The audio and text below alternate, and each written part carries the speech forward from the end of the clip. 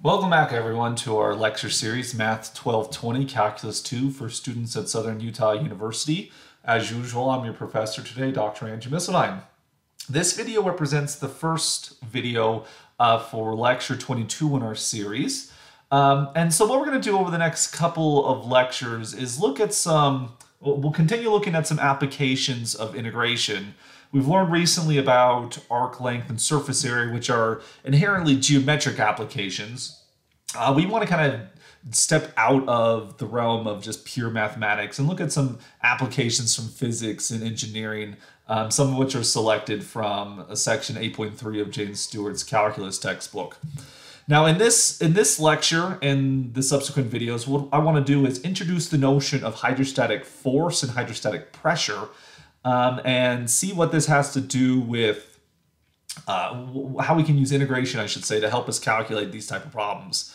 Now, before anyone panics, um, because some of the things we're going to talk about, because again, they're very physical in nature, some of these questions and some of these problems are going to feel a lot like what we saw previously when we talked about physical work. And honestly speaking, those work integrals that we had to set up, some of them were quite challenging. And many of us were overwhelmed at the time, probably when we learned about it. And so before anyone panics and think this is going to be the same thing, there's going to be some stark differences going on with hydrostatic force problems. And those differences are actually going to make these things feel a lot easier. Now, one reason it's going to feel easier is, first of all, um, there's a lot less variability when it comes to a hydrostatic problem as opposed to the work problems we've seen before. Uh, basically, the variability will come to the shape of our plate, um, but that's about that's about it, right? Um, and also, another thing I want to point out is one of the reasons these problems are going to feel easier is because as a learner of calculus, we are much better at setting up integrals than we were uh, when we first learned about work, at least with respect to this lecture series here. Um, and so have some faith in yourself, and I, I think you're actually going to find this to be quite satisfying, these type of problems here. So to introduce this idea of what do we mean by hydrostatic force and hydrostatic pressure and such, imagine you're a deep sea diver. Maybe you have gone scuba diving before. Uh, well, one thing that deep sea divers realize is that water pressure is going to increase as they dive deeper and deeper and deeper. You feel more pressure on you the deeper you go in the water. And this really is just a result of the weight of the water above you is going to increase the farther down you go. So, uh, Imagine, for example, that we have some type of horizontal plate whose area is given as A, and this plate can just be, you know, any oddly shaped thing. So it just kind of sits. It sits here at the bottom of, say, our pond or ocean or whatever, and it has some fixed area A, and it's submerged into some fluid. Um, and we'll we'll assume this is a liquid, and it's it'll be water for nearly all situations. Uh, so it's, it's submerged in some uh, some fluid, and it's a depth of d feet from the surface of the water. So we can see kind of like this this continuum, this conduit of water that just kind of sits on top of this thing. And so it is d units deep. All right. Well, if this fluid has a density of rho, so we have this density uh, often we denote this with the Greek letter rho. Um, then the force exerted by the fluid onto the plate uh, is, that is to say, the hydrostatic force. Is going to be the weight of the fluid above the plate. Because as this water sits above the plate, right, this water has a weight. Water, gravity is pulling down on that water, and that water is applying a weight on the plate based upon its force, the so-called hydrostatic force. Now, let's say that the volume of the water above the, the plate is volume A.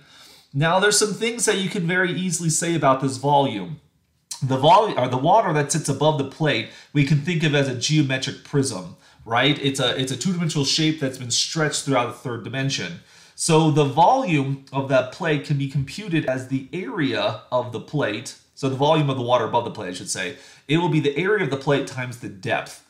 Um, so we have one face of the prism, which is the plate itself, and then how long is the prism? It'll be d its depth. So the volume, the volume of this water uh, tower is going to be just the area times the depth. All right. And so if we were to multiply the volume if we take the volume of the water and multiply by its its density here, and this density we're talking about its mass per uh, cubic unit of uh, that, that its mass per volume. That's what this density is measuring here. So in fact, the mass of the water is going to be rho times v. That's kind of a poorly drawn rho there. Try that again. There you go. So the mass of this thing is going to be rho times v. And so applying Newton's second law of motion here, the force is going to be equal to the mass times acceleration, for which acceleration in this situation, since we're talking about weight, the acceleration will be, uh, that is the acceleration due to gravity. So force is gravity times mass. Well, like as we mentioned, mass is going to be rho, the density times volume, and volume is area times depth. And so be aware that gravity is going to be a constant, right? It depends on the the planetary body we reside on, and so this will be Earth for nearly most examples we would ever consider, right? And also this rho here is also going to be a constant. It's a it's a constant with respect to the fluid.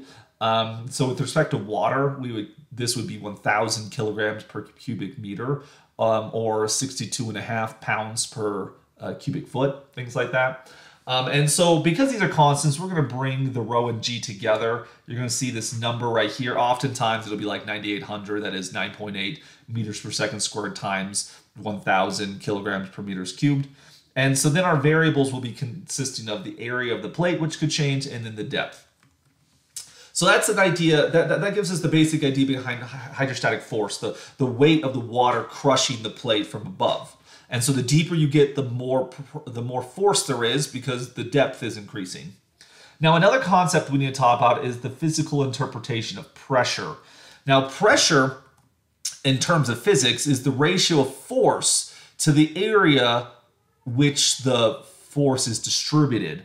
Um, or mathematically speaking, pressure is equal to force divided by area. So this is like when you step on the ground with your foot versus when you like regular ground versus when you step on a nail with your same foot. The force is essentially your weight, right? So the force you feel on your foot is the weight of your body pressing down on your foot. And when you spread that force across the entire size of your foot, it's quite comfortable, not a big deal. But if you apply the weight of your body over a very small area, like just the point of a nail, that pressure dramatically increases because you have a much smaller area. And that's the difference we feel when we step on something sharp. So pressure is force, uh, force per area, or if you multiply both sides of this equation, because it is an equation after all, you're going to get that force is equal to pressure times area. And so this is an observation we're going to use a lot as we talk about hydrostatic pressure here. Uh, force will be equal to pressure times area. If you are not familiar with pressure here, I should mention that in the SI uh, units, with scientific units here, the, the, the basic unit of pressure is called 1 Pascal, denoted PA, named after uh, the scientist Pascal, right? Um, and one Pascal is a Newton per meter squared, right here. So we take the the scientific unit for force, which is typically a Newton, again for for scientific me measurements. For um, for sort of traditional British measurements, this would be a pound. And then for area, we just take a length squared, so a meter squared. So a Pascal is one Newton per meter squared. Um, if we do use sort of uh, American British units, then we would take pounds per pounds per square foot. Um, sometimes pounds per square inch is used, psi for pressure. Like if you look at your tire pressure, that's typically in a psi, but we, we might see something like that. Um, so continuing on with this, uh, we see that the pressure on the plate exerted by the fluid, the so-called hydrostatic pressure, uh, using this formula, we get the following. The pressure um, is equal to force over area.